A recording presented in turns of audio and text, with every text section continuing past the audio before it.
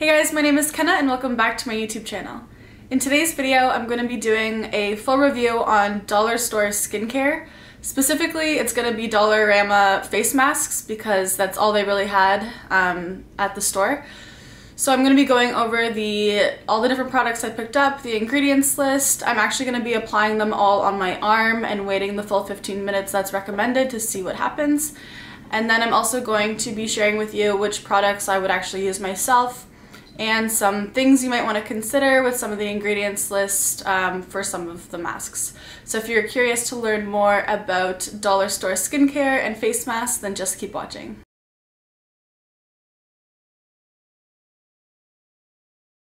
Okay, so they basically had three different brands at the Dollarama. Um, they had this Luxe Beauty Care brand, they had this Global Beauty Care brand, and then they have Neat and Easy. So I picked up one, two, three, four products by lux two by Global Beauty Care, and then one from the Neat and Easy. So I will start with lux Beauty Care. Okay, so the first product is this Lux Beauty Care um, face mask. There's two that it comes with. One is charcoal, one is gold.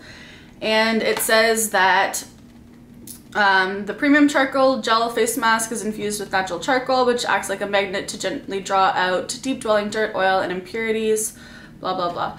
So the other one says that the premium gold gel face mask is luxurious anti-aging skin treatment infused with gold, which is known to reduce the appearance of fine lines and wrinkles by firming and toning, blah, blah, blah.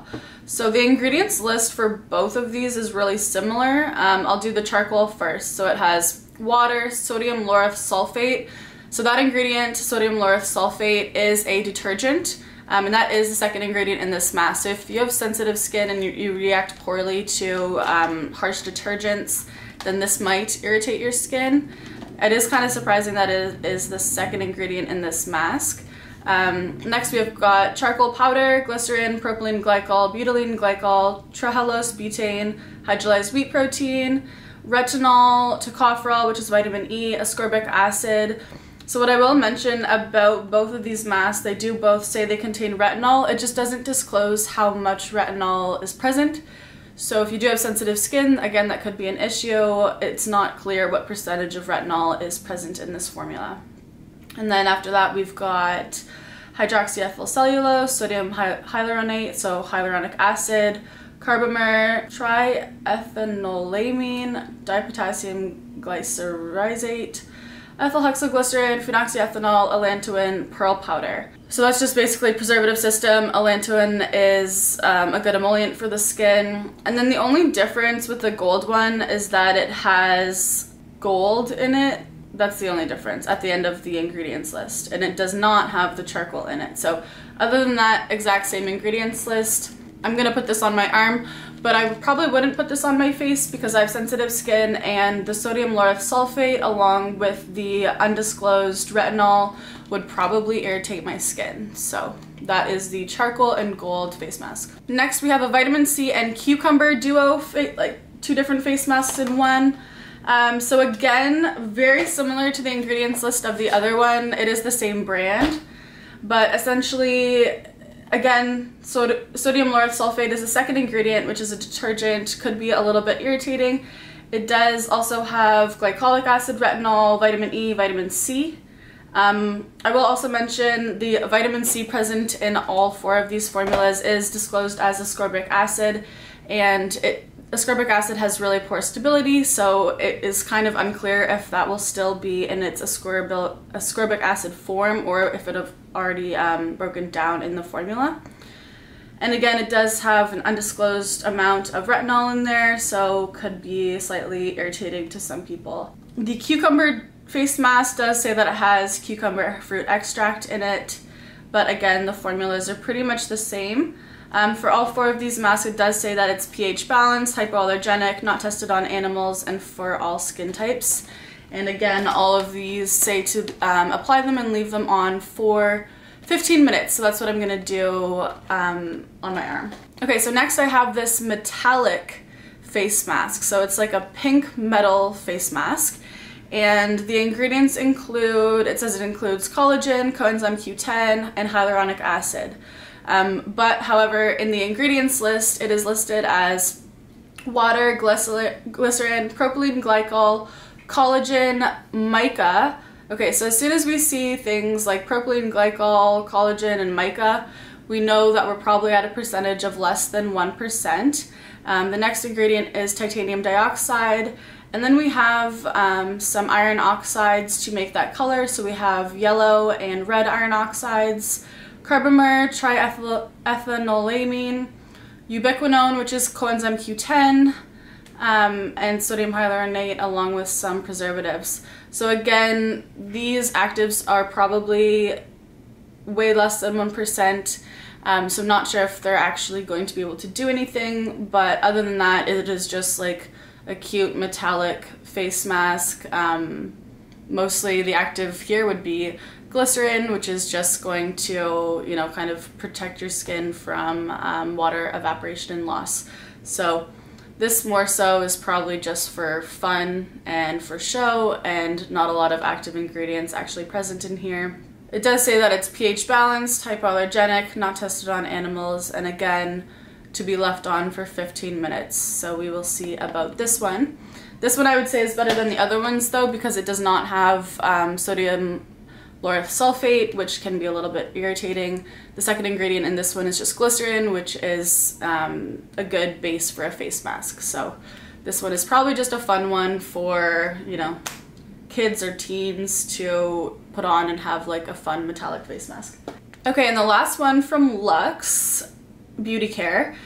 Now this one's actually kind of interesting. So um, the ingredients are, and this one is a sheet mask, sorry. So it's got liquid, but it's in a sheet. This is one that I actually think I would try. Um, it contains water, glycerin, malt extract, trehalose, diatomaceous earth. So diatomaceous earth is a really interesting ingredient. I used to use it to make deodorant and it's also, um, it's generally used to clean up spills and can also be added to like kitty litter because um, basically it's really absorptive and it just absorbs everything. It also absorbs odors. So I could see how this in, um, could kind of draw things out of the skin, impurities and toxins, etc. Next we have Dead Sea Salt, niacinamide. So that's an interesting one that's in here. It does contain niacinamide. It has um, PEG 40 castor oil, collagen, panthenol, which are both really great skincare ingredients, xanthan gum, sodium hyaluronate, again hyaluronic acid, and then just a preservative system, phenoxyethanol, dipotassium glycyrrhizate. Um, again, it says pH balance, hypoallergenic, not tested on animals. So out of all of the face masks by Lux Beauty Care, I actually would probably try this one out just for fun. It is just $1.25, so if you are looking to just have kind of, you know, a sheet mask experience, I would say this one is not that bad for the price, and it does contain some active ingredients. Um, not sure, again, what the percentages are for any of them, but the ingredients list is very simple and basic, so yeah, out of all of them, uh, for people with sensitive skin, I would say this is probably the best one out of the Lux Beauty Care options. Okay, on to our next brand, which is Global Beauty Care. So they have a, this is a Dead Sea Mud Face Mask. So it's quite a lot of product. It's 150 mil, and I think this was $4 for this mask. So that's actually a really good price for how much mask is in here, and it does come with the applicator brush. Um, so the ingredients list includes water, glycerin, dead sea salt, propylene glycol, uh, caprylic capric triglyceride, sorbitan sesquioleate, allantoin, which is a great skincare ingredient, vitamin E, dextran, which is just sugar, PEG 400, hydroxyethyl cellulose, xanthan gum, glycerol stearate, sodium hyaluronate, phenoxyethanol, and dipotassium glycyrrhizate, which is again just the preservative system. So this is just basically a glycerin and dead sea salt mask. Um, there's not a lot other things going on here, but if you're just looking to do a nice um, mud mask and you want to have kind of this luxury mud mask experience, this is actually not a bad one. The ingredients list is pretty simple, but again, the glycerin is a great humectant and kind of boost the natural moisturizing factors in your skin. Other than that, uh, just got a couple things in there so that the skin is moisturized, such as allantoin and vitamin E is good antioxidant. So yeah, not the worst product out there, and especially for the price, like $4 for 150 ml. It's really not that bad if you're looking for a little um, evening luxury treatment. Okay, and then the second mask I have from Global Beauty Care is this retinol mask. Um, honestly, the ingredients list is really not that bad. So it's water, glycerin, retinol, beta-glucan, glycoproteins, betaine, sodium PCA, hydroxyethylcellulose, tocopherol, hyaluronic acid, allantoin, dipotassium glycyrrhizate, phenoxyethanol, perfume. Um, it says it's pH balanced, hypoallergenic, not tested on animals. What I will say about this is it doesn't disclose how much retinol is in here, so I wouldn't feel comfortable using it because I have very sensitive skin and I know that I could react poorly to a certain percentage of retinol. If you are super comfortable with retinol and you've used a variety of different percentages, this might be fine for you. So I think this was $4 and it came with two treatments, two different masks in there. Um, again, it's a sheet mask that you apply to the face. So if you are comfortable with retinol, honestly, this product does not look that bad. I just don't use retinol because I have very sensitive skin, so I'd be nervous about trying a product that didn't disclose the percentage of retinol that was present.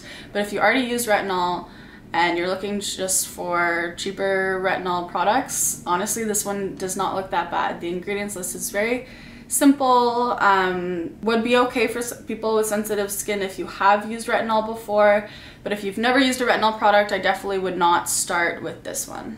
Okay, last but not least, I have these deep cleansing nose strips from Neat and Easy.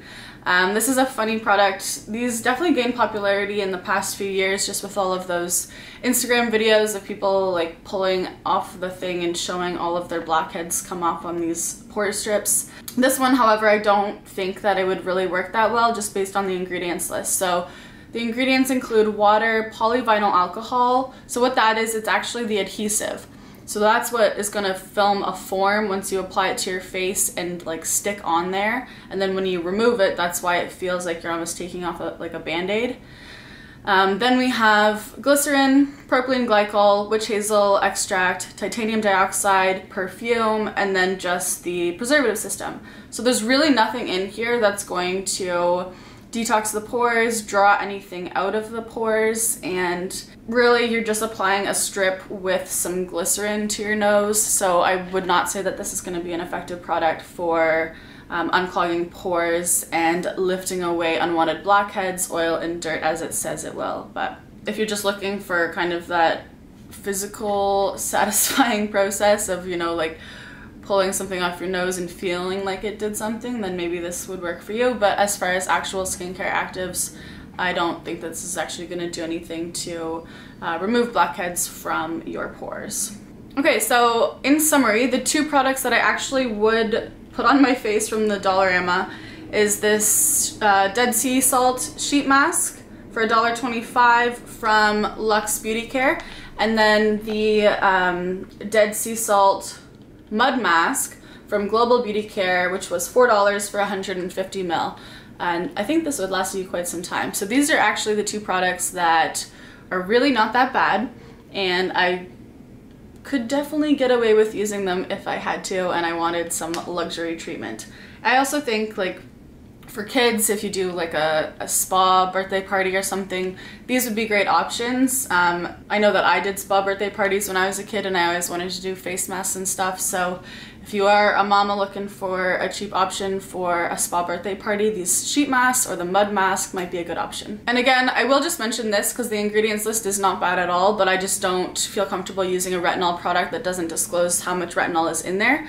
But if you are very comfortable with retinol, this might be a cheap um, option for you to just throw on a sheet mask that has some retinol in it. Okay, so now I'm gonna go ahead and just apply all of them to my arm and see after 15 minutes if there is any irritation from any of those masks. Okay, so I'm going in with the cucumber mask. Regardless of the mask being good, what I do like is the the mask brushes that it comes with. So I'm gonna do this one here. Okay, next I'm doing the vitamin C mask. What I will mention is that the cooling sensation of these gels is nice. Okay, and now I'm going in with the Dead Sea Mud Mask. Okay, so this is my one arm. So I've got the Dead Sea mask, the charcoal mask, the gold mask, the vitamin C, and then the cucumber up here. And then on my other arm, I'll put those actual masks. So I've got the pore strips here. Okay, so I just wet my wrist where I want to apply it, and then I'm just sticking on the pore, pore strip mask. So that's the pore strip. Okay, next we're doing the retinol. Yeah, this is super gloopy. Okay, I'm just gonna leave it. Okay, and last but not least, I'm doing the Lux. And again, this is another one that I would actually apply. So I'm just gonna place that on my arm. So you can see my arm has the the Lux Dead Sea Salt mask, the, oh, so gloopy, retinol mask, the pore strip. Okay, so I'll be back in 15 minutes and I will give my final review on what happened to my arms. Okay, so I just washed all the face masks off my arms and I'll guess I'll start with my left arm which had all of the gel masks on it. There was no irritation at all. They were all pretty like soothing and cooling actually and I did not find that any of them irritated my skin. I did enjoy the texture of the mud mask the best though. So that was the Global Beauty Dead Sea Mud face mask. Now on my other arm, a couple things happened. So the pore strip really irritated my skin and especially when I took it off, it kind of hurt. Um, so I'm not sure if that's the best thing for your face because it was pretty stuck on there. Maybe I should have used some more water or something to try and remove it, but I just removed it and it kind of hurt. So it left a mark and that part of my skin is pretty irritated right now. Like if I touch it, I, it feels itchy, um, which is a sign of irritation. Now in the middle I had the retinol mask and I could feel this one actually kind of burning and hurting my skin throughout those 15 minutes. And then I did notice just some um, redness and bumps kind of on the edge of the mask when I took it off. But there was no redness actually where it felt irritated, but I could definitely feel that my skin was a little bit irritated.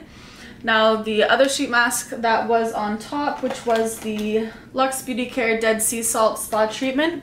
This one didn't irritate my skin, but I did notice just a little bit of um, bumps, again, just along the edge of the mask, so I'm not sure what the reason for that is, but I did have a little bit of irritation on the edge of both of those face masks. That is pretty much it. That's my final review.